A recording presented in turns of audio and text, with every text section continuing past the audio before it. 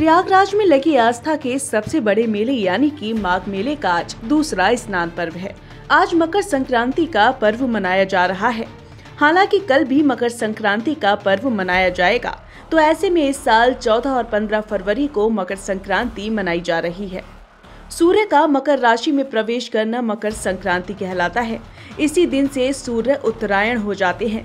शास्त्रों में उत्तरायण की अवधि को देवताओं का दिन तथा दक्षिणायन को देवताओं की रात्रि कहा जाता है।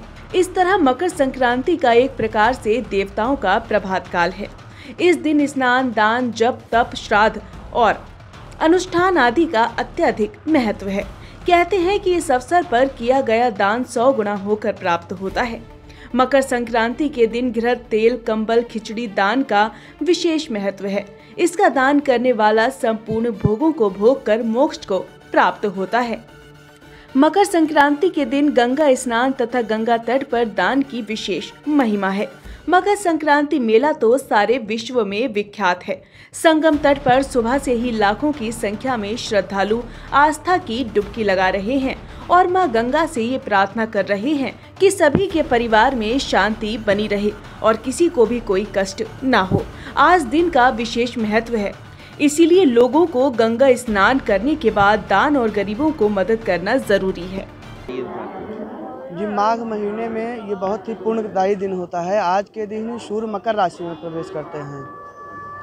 तो माघ मकर गत रवि जब होई, तीरथ पति आय सब कोई। जब माघ में जो है सूर्य मकर राशि में आते हैं तो यहाँ पर सारे तीरथ पति भी ये तीर्थराज प्रयाग है, यहाँ पर सारे देवी देवता अपने यहाँ आ जाते हैं। तीर्थराज प्रयाग में सभी देवी देवता यहाँ पर आते हैं देश विदेश से लोग स्नान के लिए आते हैं। चौदह पंद्रह दो दिन जो है मकर संक्रांति का पर्व जो है मनाया जाएगा। लोग यहाँ दान पुण्य करते हैं, खिचड़ी, लड्डू इत्यादि जो है यहाँ पर बांटते हैं। अन्नदान, वस्त्रदान, कंबल इत्यादि लोग यहाँ पर वितरण करते हैं। लोग अपने पूर्वजों के उद्धार के लिए यहाँ पर गंगा स्नान करते हैं। जैसे गंगा माँ को मोक्षदायिनी कहा गया है तो जो भी यहाँ पर गंगा स्नान करते हैं, उनको पूर्वजों को मोक्ष होता, प्राप्त होता है और पुण्यदायी जो है फलदायी होता है। लोग गंगा में स्नान करते हैं। अपने सभी पापों को जो है यहाँ पर जलाकर भस्म करते हैं। और आचार्य राजकुमार तिवारी। आज के दिन का बहुत अच्छा महत्व है और हम दान करना चाहते हैं गरीबों को दान करना चाहते हैं और हमको यहाँ कर बहुत अच्छा लगा और यहाँ की सुविधाएँ बहुत अच्छी हैं। सरकार की व्यवस्था और जो सरकार की व्यवस्थाएँ हैं यहाँ बहुत अच्छी की गई है। ये महासंक्रांत का संपूर्ण महत्व है यहाँ आकर के स्नान करना। बहुत अच्छा बहुत अच्छा। क्या मांगा आपने मैंने अपने मैंने अपने बच्चों की सुख शांति मांगी और अपने घर परिवार का सब लोग कुछ सुख शांति से अच्छे से रहें और जो गुप्त रूप में मांगना था वो हमने गंगा मैया से मांगा। क्या नाम है और कहाँ से आप आई हैं? मैं सुशीला सिंह और सुपिया गाँव से आई हूँ।